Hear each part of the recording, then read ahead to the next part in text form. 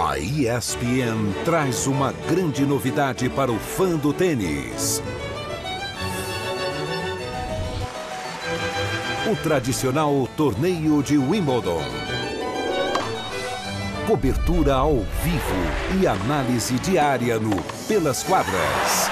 Torneio de Wimbledon. De 29 de junho a 12 de julho. Nos canais ESPN.